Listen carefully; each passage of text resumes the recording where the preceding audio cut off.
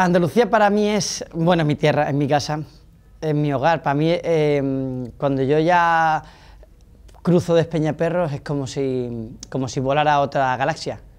Ya desde que bajo la ventanilla, si voy en coche y paso por, por, la, sierra y empieza la vuelta, eso que da un miedo que te cagas, ¿sabes? Parece que te vas a matar. Si sobrevives a Espeñaperros, entras al, paraíso. Porque ya me vienen eh, todos los recuerdos, todas las la, mi vivencia en, Málaga, pero en verdad da igual si, si, voy a Sevilla, voy a Córdoba, voy a Jaén, voy a Almería, da igual a donde vaya.